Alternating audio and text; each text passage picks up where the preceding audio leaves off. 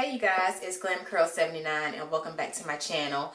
So, um, my hair. It is just a wash and go that I did on Sunday and I have been preserving it by doing the um, banding method. It held up pretty good because um, it rained here today in Memphis. So it's just been a cold, old, rainy day. So, but I am here because I wanted to um, do a review over some soaps that I had gotten from a company called Lia Naturals. And um, her soaps are really nice. She's very professional, very business savvy. And um, in my order came one of her cards here. Just a really nice, really nice card.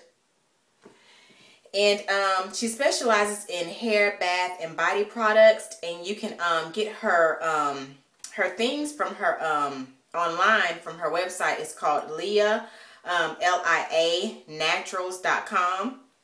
And um, I actually got these soaps on sale. She was having like a 15% off um, via a um, code from my fellow YouTuber, uh, Kimmy Curly Star.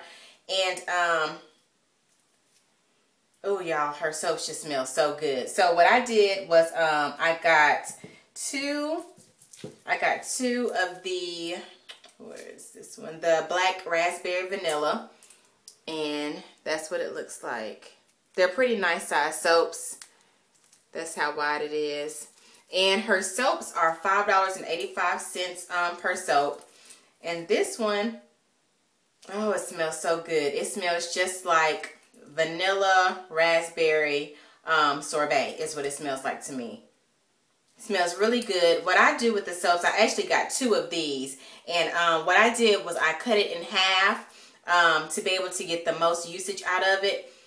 But it smells really, really good. Um, let's see here. It says, um, this is a handmade cold processed soap with natural oils and nourishing butters. What does she have in it? She has purified water, sodium hydroxide, soybean oil, avocado oil, palm olive oil, um, coconut oil, shea butter, castor oil, natural colorant, and fragrance. So um, her soaps are all natural. So I got two of the black raspberry vanilla, and I've got one of the yuzu. And this soap right here um, is actually for face, hair, and body.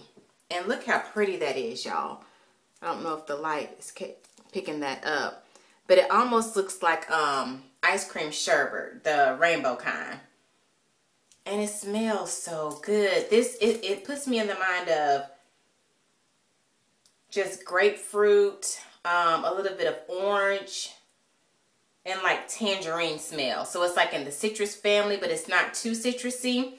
And let's see, this one pretty much has the exact same ingredients as the um, other soap. So yeah, I got um, one of these. And the last one that I got was actually on sale um, for, I think it was like $3. And it's the Pear Berry. And this one is also for face, hair, and body. And y'all, this one to me smells just like a watermelon now later is what it smells like. To me, smells really good. And that's what it looks like. I mean, her packaging is really nice. I like her packaging. And the side. So, um, let's see. This one has the exact same ingredients as well. And I've been using her soap um, ever since Sunday. And y'all, her soaps, they lather really nicely. They leave my body feeling nice and moisturized and my skin just feeling so soft and smooth. So I definitely um, recommend her soaps if you are interested in trying an all-natural soap for your body. Um, don't get me wrong, um, my soap of choice if I'm going to use um, a synthetic type base soap would be Dove. I absolutely love Dove. But um, with me being natural, I'm not just trying to um, be natural as far as hair goes, but I also want to incorporate um, other natural type things in my life as far as trying to eat a little bit better, um, using natural things on my body as well as what I put inside of my body. So yeah, um, her soaps are just really, really nice.